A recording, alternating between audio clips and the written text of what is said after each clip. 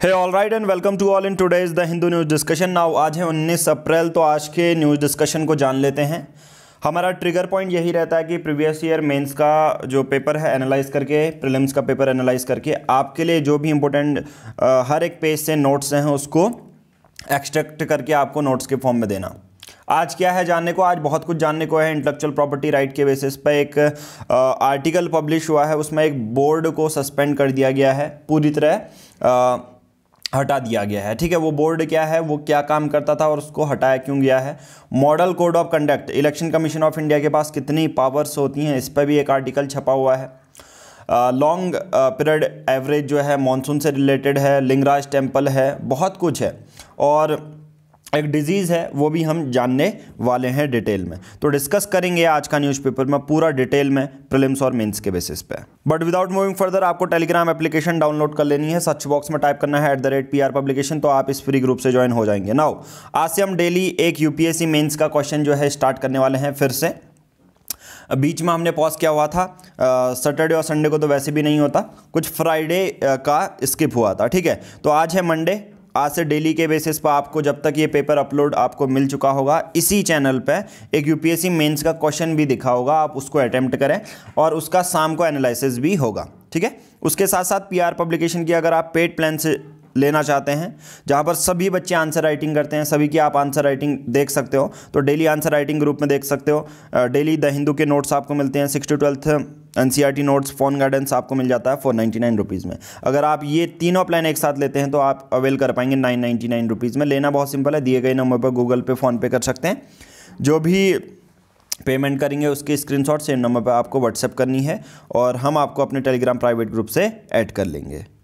Now start करते हैं आज का डिस्कशन सबसे पहले इंडिया ने रिकॉर्ड किए 2.75 लाख न्यू केसेस 1620 डेथ हो चुकी हैं संडे तक, यानी कि कल तक।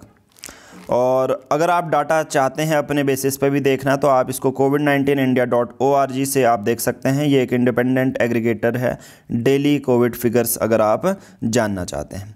और उसके बेसिस पर अप्रैल में जो सेशन था, जेई मेंस का, वो भी पोस्टपोन हो चुका है।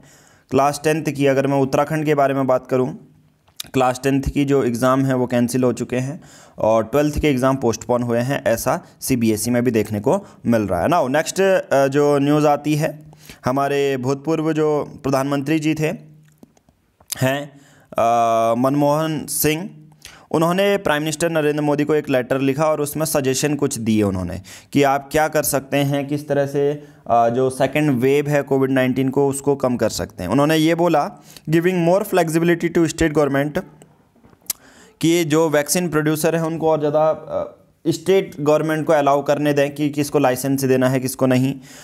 वैक्सीन सप्लाई जो है आ, उसको ज़्यादा बढ़ाना चाहिए। तो इस तरह से कुछ सजेशन दिए मिस्टर मनमोहन सिंह ने।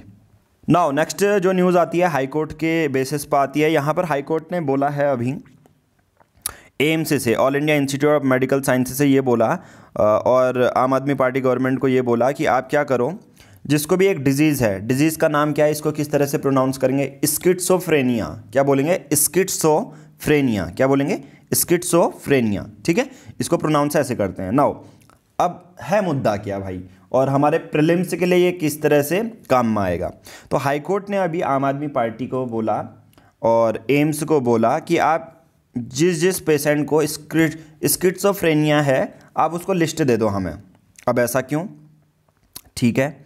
ऐसा इसलिए कि एक महिला आती है, पिटिशन डालती है, उसका बत्तीस साल का जो बेटा है, वो क्या करता है, उसको मेंटल कंडीशन उसकी ख़राब है, एग्रेसिव बिहेवियर वो देखने को मिलता है। तो महिला ने पिटीशन में ये डाला कि हमारे बत्तीस साल का जो लड़का है, उसको स्किट्सोफ्रेनिया है और वो उसका एग्रेसिव नेचर हमारे लाइफ के लिए जो है हार्म कर सकता है, हमारी लाइफ को इम्पेक्ट कर सकता है, हमको मार भी सकता है राइट तो इस बेसिस पे हाईकोर्ट ने बोला कि आप लिस्ट निकालो ताकि हम इनको अच्छा सा ट्रीटमेंट दे पाएँ। और ये डेट दी है कि अप्रैल सत्ताईस तक आपको लिस्ट ऑफ़ जिसको स्किट्सोफ्रेनिया है, उसकी डिटेल मुझे देनी चाहिए। आई थिंक मैं आपको पूरा करंट समझा चुका हूँ। अब मैं थोड़ा स्किट्सोफ्रेनिया के बारे में समझा देता हूँ, जो प्रिलिम्स में एक मार्क्स में पूछा जा सकता है। स्किट्सोफ्रेनिया ठीक है? General studies paper two health achievement of Indians in science and technology ये पूछा जा सकता है। इंडिया और ऑस्ट्रेलिया के साइंटिस्ट न्यूज़ 2019 की है ये। और भारत और ऑस्ट्रेलिया के साइंटिस्ट दोनों ही देखते हैं कि किस तरह से स्किट्सोफ्रेनिया को कम किया जाए। So their study found a gene called उनकी स्टडी पता लगाया उन्होंने और N P R T one that encodes an enzyme involved in the vitamin B3 metabolism, is a large genomic data set of schizophrenia patient. The study has predominantly been done in the population with European ancestry. अभी ये जो study हुई है 2019 से अभी भी चल रही है, भारतीय एंसेस्ट्री में अभी चलने वाली है बट मैं यहाँ पर ये चाहूँगा कि आप इसमें जाने कि इस बीमारी में होता क्यों है, क्या है आपसे यही पूछा जाएगा करंट में जब तक कोई चीज़ कंप्लीट ना हो, अभी सिर्फ़ स्टडी चल रही है, ठीक है अभी इससे कुछ मतलब नहीं है आपका तो आपसे ये पूछा जाएगा विथ रेफरेंस टू और with respect to schizophrenia recently seen in news choose the correct option below right चार ऑप्शन आपको दे दिए जाएँगे, आपसे बोलेंगे मेंटल डिसऑर्डर है, आपसे बोलेंगे स्किट्सोफ्रेनिया एक हाल में ही नई बैट की स्पीसीज़ देखने को मिली है, वो है बटरफ्लाई की स्पीसीज़ है, वो है। और उसमें ही, मान के चलो, अगर आपने स्किट्सोफ्रेनिया के बारे में सुना भी नहीं है तो आप रेंडम गैस कर ही नहीं पाएँगे कि एक मेंटल डिसऑर्डर है। नाउ स्किट्सोफ्रेनिया एक मेंटल डिसऑर्डर है सीवियर मेंटल डिसऑर्डर है। और डिसरप्शन इन थिंकिंग सोचने में बहुत ज़्यादा दिक्कतें आती हैं। अफेक्टिंग लैंग्वेज आप जो बोलना चाहते हैं वो गलत हो है। परसेप्शन गलत हो जाता है। सेंस ऑफ़ सेल्फ जैसा मैंने बोला आ, कि आपका जो बिहेवियर होता है थोड़ा सा एग्रेसिव हो जाता है इस बीमारी में। अफेक्ट मोर देन 21 मिलियन पूरे विश्व में इससे अफेक्ट हैं। कॉज क्या है? Researcher believe that genetic as well as environmental factor बहुत सारे वायरसेस के वजह से हो सकता है और जेनेटिक भी होता है। अपने माता पिता से भी ये मिलता है। ऑल्सो लाइफ स्ट्रेसर में play role in the disorder on certain course suppose मान के चलो लाइफ स्ट्रेसर्स क्या हो सकते हैं? अभी की यूथ की उसमें तो यही है यूपीएससी क्रैक करना है। इतना टाइम लगा रहा है नोट्स बनाने में, इतना जा रहा है टाइम जा रहा है। ये भी एक लाइफ स्ट्रेसर ही है ना? वो onset it is typically begin in the late adolescence और अर्ली एडल्टहुड में आपको देखने को मिलता है। इम्पैक्ट क्या है? Hallucination delusion reduced speaking hallucination हो जाता है, आप हो कुछ और रहा होता है, दुखता कुछ और है ठीक है, और स्क्री स्किट्सोफ्रेनिया एक ट्रिटेबल डिसऑर्डर है, ये प्रिलिम्स के लिए याद रखना, इसका उपचार हो सकता है। Therapy and support can help people learn social skills cope with stress identify early warning signs तो ये एक ट्रिटेबल डिसऑर्डर है, ये चीज़ याद रखना प्रिलिम्स के लिए, यही पूछा जाता है मेनली नाउ यहाँ पर नेक्स्ट जो न्यूज़ आती है वो लिंगराज टेंपल से आती है भुवनेश्वर में। वहाँ के जो सेवायात हैं जो पृष्ठ हैं जिन्हें पुजारी जी कहते हैं उनको tested positive for the novel corona virus और ये पुजारी जी हैं लिंगराज टेंपल के। लिंगराज टेंपल ग्यारहवीं सेंचुरी में बनाया गया था और हाल में ही ये बहुत ज़्यादा न्यूज़ में रहा है। यूपीएससी प्रीलिम्स में ये पूछा जाए इसके लिए आ, कोई ऐसा नहीं है कि यार ये ना आ सकता है। या नहीं आ सकता है राइट ये पूछा ही जाएगा, ठीक है? जनरली बहुत ज़्यादा न्यूज़ में ये रहा है। तो सॉरी फॉर द पॉस बीच में कॉल आ गया था तो मैं बात कर रहा था लिंगराज टेंपल की UPSC general studies paper one art and culture में ये पूछा जा सकता है। और लोकेशन है भुवनेश्वर उड़ीसा में। किसने बनाया था? जजाति केशरी ने। इलेवंथ सेंचुरी में है। लॉर्ड शिवा को डेडिकेटेड है। सिग्निफिकेंस है सेल्फ ऑरिजिनेटेड लिंगम है। यहाँ पर सबसे बड़ी महत्वता यही रहती है कि सेल्फ ऑरिजिनेटेड लिंगम है यहाँ पर। ठीक है कोई बनाया नहीं गया। Lingaraj temple is believed to be the oldest और लार्जेस्ट टेंपल है भुवनेश्वर का। और द टर्म है Lingaraj such the king of lings where ling is the phallic form of lord Shiva eleven century में इसको किंग जजाति ने बनाया था जो कि शोम वंश से बिलोंग करते थे। आ, उसके बाद आर्किटेक्चर के बारे में बात करेंगे। कलिंग स्टाइल का आर्किटेक्चर है ये प्रिलिम्स में पूछा जाएगा। It has the architecture of Kalinga style और नॉट, ठीक है, erected in the red sandstone से बना हुआ है। मेन श्रेन इसमें कौन है? गर्भगिरा है, यज्ञशाला है। इतना ज़्यादा डिटेल में आपसे नहीं पूछेंगे कि टेंपल चार पार्ट में डिवाइड है। आपसे ये पूछा जाएगा कि कलिंग स्टाइल ऑफ़ आर्किटेक्चर यहाँ पर देखने को मिलता है। ओके।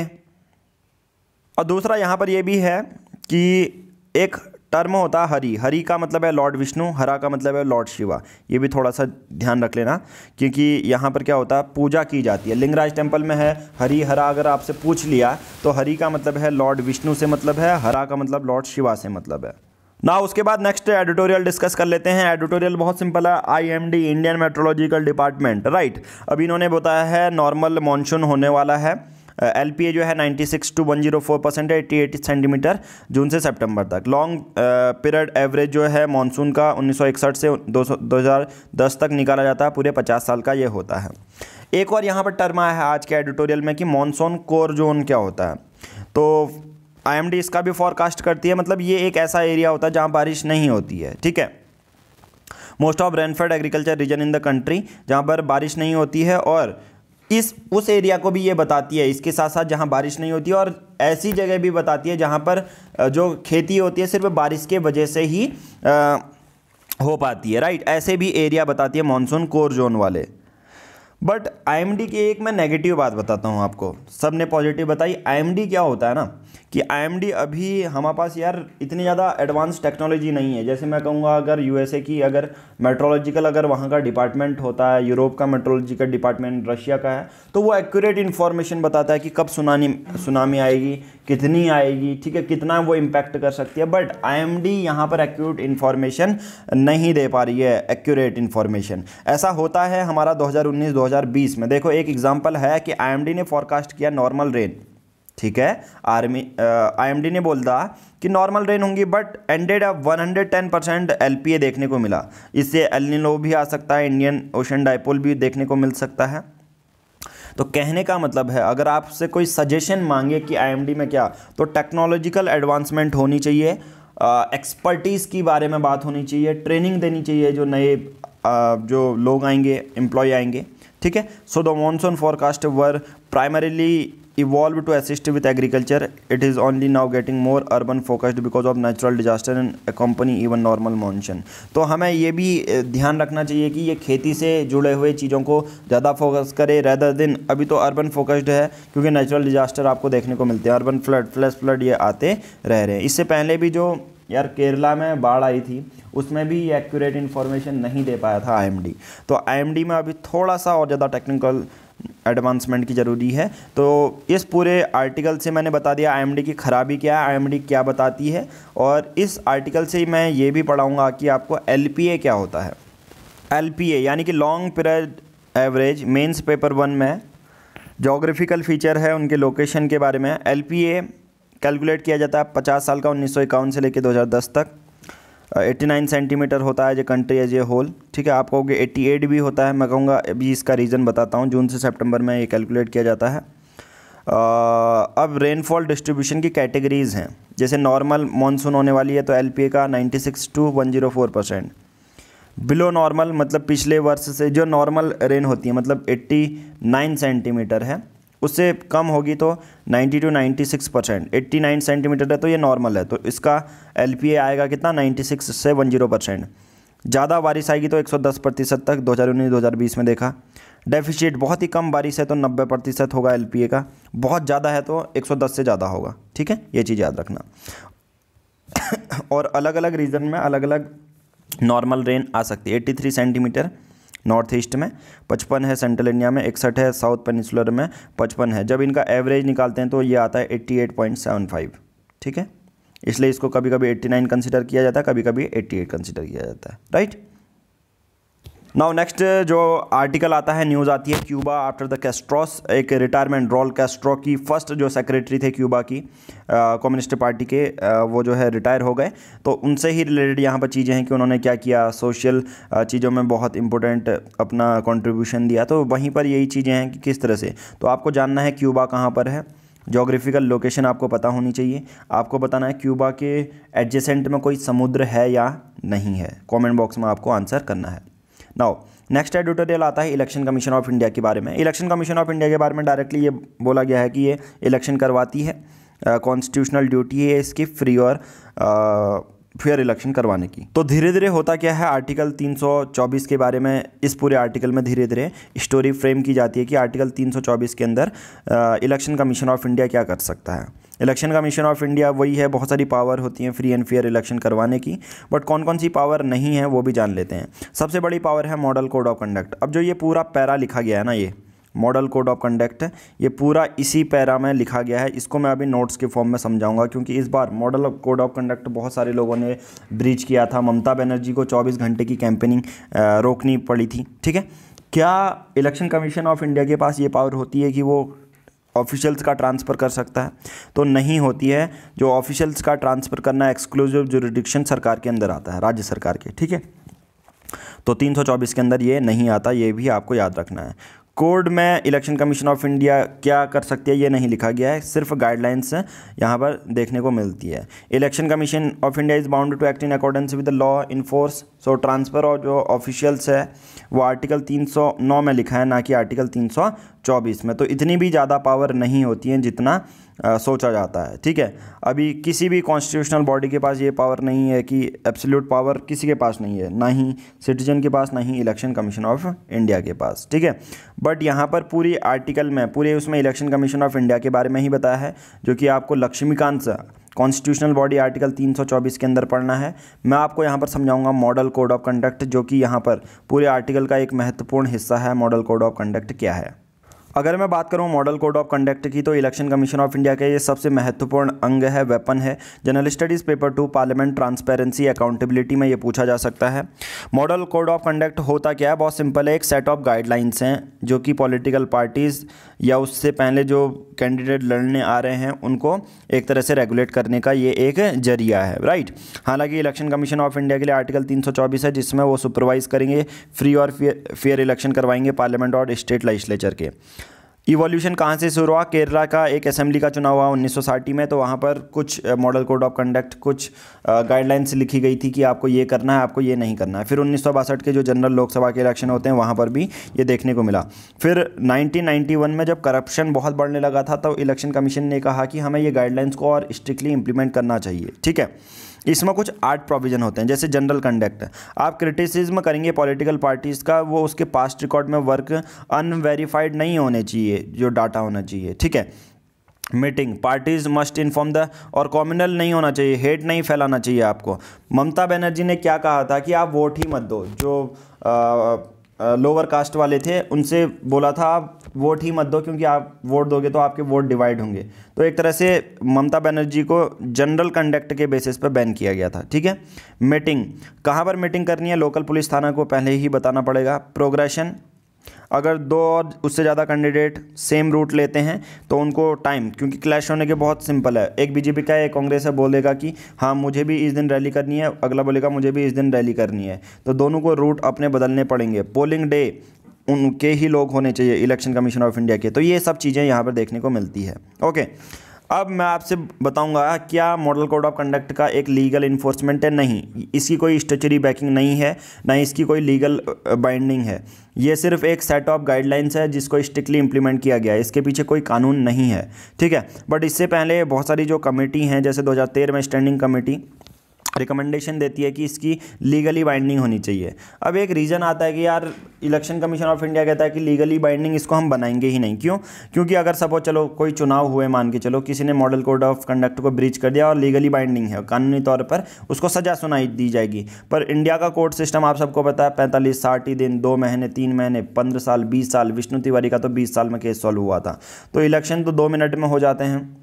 पर केसें चलते रहेंगे 20 साल तक। तो ये इसलिए लीगली बाइंडिंग नहीं बनाया जा रहा है। तो सबसे पहले इंपॉर्टेंट प्रिलिम्स के लिए model code of conduct legally binding नहीं है। ये सिर्फ़ सेट ऑफ़ गाइडलाइंस से बनाई गई सेट ऑफ़ कन्वेंशन है, जो सिर्फ़ फॉलो किया जाता है। नेक्स्ट जो एडिटोरियल आता है, वो है वेस्ट बंगाल से इलेक्शन से रिलेटेड कोई जानने की यहाँ पर ज़रूरत नहीं है क्या क्या चीज़ें बोली गई।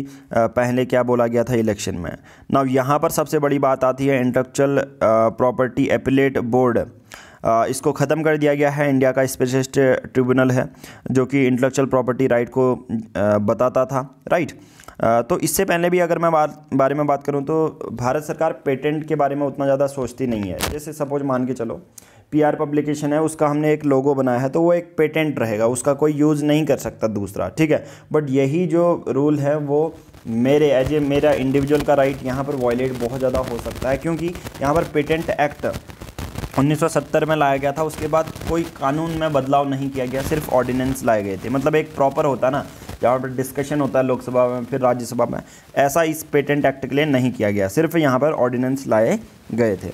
और 4 अप्रैल को, यानी कि आज है आपका 19 अप्रैल, आज से 15 दिन पहले प्रेसिडेंट ने एक साइन किया था tribunal reform rationalisation and condition of service of ordinance 2021 और उसमें बोला IP intellectual property appellate board को शट डाउन करना है and many other tribunal for good ठीक है? इनको शट डाउन करने की बात कर दी गई है। अब ये शट डाउन हो गया। इससे पहले भी जो ये वाला बोर्ड था ना ये अनवांटेड चाइल्ड की तरह ट्रीट किया जाता था। मतलब कोई स्टाफ नहीं है, कोई अंडर फंडेड है मतलब पैसा ही नहीं है इनके पास। ये इस्टेब्लिश किया गया था ट्रेडमार्क एक्ट 1999 के बेसिस पे। बाकी इसके लिए फिर पेटेंट एक्ट 2002 सुधार किया गया। ये क्या करता था? वही कॉपीराइट है ट्रेडमार्क है जीआई है, इन सबको रेगुलेट मॉनिटर करता था बट यहाँ पर अभी इसको शट डाउन कर दिया गया राइट वही है टेक्निकल रीजन के बेसिस पर ये अच्छा काम नहीं कर पाता था, ये एक रीज़न दिया गया है। ये किस पर काम करता था? ट्रेडमार्क है पेटेंट है कॉपीराइट जोग्राफिकल इंडिकेशन इन सब पे। ठीक है, अब ये बोर्ड के बारे में इसको तो शट डाउन कर दिया गया है। बट इंडिया में आईपीआर होता क्या है और आईपीआर से रिलेटेड क्या है इंडिया में, वो हम जान लेते हैं। Now intellectual property right intellectual property right क्या होता है? एक ऐसा राइट होता है जो आपके माइंड से निकल के आता है क्रिएटिव माइंड से निकल के आता है। वो लिटरेटी आर्टिस्टिक वर्क कुछ भी हो सकता है। इसके लिए यूनिवर्सल डिक्लेरेशन है ह्यूमन राइट का आर्टिकल 27 कि आपके जो बनाई हुई चीज़ें वो प्रोडक्ट उसमें सिर्फ़ आपका अधिकार होगा। तो इसलिए आईपीआर को पहली बार रिकोगनाइज़ किया गया था पेरिस कन्वेंशन में इंडस्ट्रियल प्रॉपर्टी 1883 में, फिर बर्ने कन्वेंशन में, ठीक है, किसके लिए? लिटरेरी और आर्टिस्टिक वर्कर के लिए। दोनों ही ट्रेटीज़ जो साइन की गई थी वर्ल्ड इंटेलेक्चुअल प्रॉपर्टी ऑर्गेनाइजेशन के द्वारा एडमिनिस्ट्रेटर की जाती है। सबसे पहले कॉपीराइट कॉपीराइट का इशू क्या हो सकता है? बुक्स किसी ने कोई बुक लिखी है? जैसे चेतन भगत की कोई बुक है तो दूसरा छाप नहीं सकता। म्यूजिकल कंपोजिशन है पेंटिंग किसी ने बना दी स्कल्चर किसी ने बना दी है। इंडस्ट्रियल प्रॉपर्टी में ट्रेडमार्क हो गया, ठीक है? अलग अलग साइन हो गया। ऑडी का लोगो अब ऐसा नहीं कि यार मर्सिडीज चुरा लेगी, ऐसा नहीं होगा, क्योंकि उन पर रजिस्टर हो चुका है जोग्राफिकल इंडिकेशन तो ये सब क्या होता है? आईपीआर के अंदर ही आता है। क्या ज़रूरत है? वही इनोवेशन इनक्रेज करने के लिए ग्रोथ क्रिएटर का सेफ़ करने के लिए इसलिए आईपीआर का बहुत ज़्यादा ज़रूरत होती है। भारत सभी का मेंबर है जनरली डब्ल्यू का भी है ट्रिप्स का भी है international treaties and convention related to IPR Bharat सभी का मेंबर यहाँ पर देखने को मिल जाता है। नाउ क्लाइमेट चेंज से अगर लड़ना है तो हमारे पास एक आ, अच्छा सॉल्यूशन है ग्रीन कॉन्ट्रैक्ट करने का। हालाँकि, जैसे हमने कहा कि कंज्यूमर और कॉरपोरेशन जैसे कोई बिल्डर होते हैं, कोई कंपनी होती है, घर बनाती है हमारे लिए, और हम उस घर का यूज़ करते हैं तो दोनों ही बेनिफिट पा रहे हैं मैन्युफैक्चरिंग और सर्विस का तो इसलिए हमें क्लाइमेट चेंज के लिए भी रिस्पॉन्सिबिलिटी खुद की लेनी पड़ेगी, हमें ग्रीन हाउस गैस इमिशन कम कैसे करना पड़ेगा, उसके लिए सबसे अच्छा एक सॉल्यूशन है ग्रीन कॉन्ट्रैक्ट का। ग्रीन कॉन्ट्रैक्ट एक, क्या है? एक कॉन्ट्रैक्ट है refer to a commercial contract जो ये मैंडेट करता है, ज़रूरी करता है कि that contract parties cut down greenhouse gases every stage में। अलग अलग डिफरेंट स्टेज में गुड्स एंड सर्विसेज़ की हमें इमिशन कम करना है। जैसे डिज़ाइन में मैन्युफैक्चरिंग में ट्रांसपोर्टेशन में, ऐसा मत करो कि ट्रक वगैरह से लाओ, अगर बाईसाइकिल से भी लाया जाता है तो वो लेके आयो। मैन्युफैक्चरिंग कंक्रीट जो ईंट है, वो ऐसे मत बनाओ जिनको एल्बिडो बहुत कम है, जो एब्जॉर्ब कर लेते हैं, बहुत ज़्यादा जो सी है या गर्मी है राइट वेस्ट डिस्पोजल अच्छे से करना है तो ये हमारा जो कंपनी बना रही है और हमारा हर स्टेज में ये होना चाहिए, ठीक है? हमें ग्रीन कॉन्ट्रैक्ट को इम्प्लीमेंट करना चाहिए, ग्रीन टेंडर लगाना चाहिए और सबसे बड़ी बात है ग्रीन क्वालिफिकेशन भी होनी चाहिए। मतलब जो कंपनी है, जो बिड कर रही है उसमें तो उसकी क्वालिफिकेशन उससे पहले उन्होंने कैसा मैन्युफैक्चरिंग की, ये भी देखना पड़ेगा। और सबसे बड़ी बात है ग्रीन ऑब्लिगेशन जिसने ये कॉम्प्लाई नहीं किया तो उसको पेनाल्टी कुछ पड़नी चाहिए, ये सबसे एक अच्छा एग्ज़ाम्पल है। ट्रांसपोर्टेशन बाईसाइकिल्स ऑन साइट उस जगह पर बाईसाइकिल से कर सकेंगे establishing and maintaining a sustainable waste management system, ठीक है? तो एट द एंड अब ये ग्रीन ऑब्लिगेशन को मेंटेन कैसे करेंगे? सबसे पहले ऑडिट होना चाहिए परफॉर्मेंस का, ठीक है? दूसरा, अगर किसी ने कॉन्ट्रेक्चुअल ब्रीच किया तो पेनाल्टी भी प्रिस्क्राइब होनी चाहिए कि पेनाल्टी उसको क्या भरनी पड़ेगी, हर जाना, ठीक है? तो ये ग्रीन कॉन्ट्रैक्ट का सबसे बड़ा फ़ायदा है। अगर कभी भी पूछा जाए क्लाइमेट चेंज से रिलेटेड तो ग्रीन कॉन्ट्रैक्ट पर आप अपना नाम लिखें राइट मेघालय में एक सेंचुरी है Nongkhyllem wild life sanctuary ठीक है ये चीज़ याद रखना। आ, ये एक हज़ार किलोमीटर म्यांमार से दूरी पे है राइट और यहाँ पर ये बैट मिलता है India first bamboo dwelling bat और इसमें खास बात क्या है इसके फीचर्स की खास बात है ठीक है डिस्क लाइक पैड्स हैं पाँव के नीचे डिस्क लाइक पैड्स हैं ठीक है? और इसमें क्या है कि इतना, इसका ऐसा पैटर्न है कि वो बैम्बू ग्रोव्स के अंदर भी रह सकता है। Disc footed bat has raise Meghalaya bat count sixty six the most for any state India छियासठ आ चुके हैं डिस्क फुटेड बैट चमगादड़। वर्ल्ड लेवल के बारे में बात करें यूएस और चाइना मीटिंग हुई थी बिडन बात करने गए थे तो यूएस और चाइना ने बोला कि हम कॉपरेट करेंगे क्लाइमेट में उसमें। जो साइडो गवर्नमेंट है म्यांमार में, उन्होंने ये बोला कि एशियन मीटिंग होनी चाहिए और वहाँ पर जो मिलिट्री है, उसको क्रिटिसाइज़ करना चाहिए। हमारी गवर्नमेंट इस्टेब्लिश होनी चाहिए राइट इसराइल ने ये बोला कि मास्क मैंडेट है okay relaxes mask mandate okay तो ये सब चीज़ें हैं। तो आज के पूरे आर्टिकल में हमने पढ़ लिया जो भी इंपॉर्टेंट न्यूज़ थी ठीक है? बहुत सारे बच्चे आ, ये भी आ, आ, मुझे मैसेज करते हैं सर पूरा कवर हुआ है या नहीं? ठीक है? देखिए आप क्या कीजिए अपना जो न्यूज़पेपर है वो उठा लीजिए और सब न्यूज़ मैच करके देखिए ठीक है? अगर कोई भी आपको लगता है तो एडिशन ऐड कर लीजिए बट इसकी आपको ज़रूरत नहीं पड़ेगी। न्यूज़पेपर पढ़ने की ज़रूरत नहीं है। पेट्स प्लान्स में तो आपको ये हाईलाइटेड वर्जन भी दिया जाता है। तो कोई चिंता की ज़रूरत नहीं है। चलिए आज का एंड कोड रखते हैं आंसर राइटिंग क्योंकि आज से आंसर राइटिंग बहुत ज़्यादा डेडिकेटेड होने वाली है। आंसर राइटिंग धन्यवाद।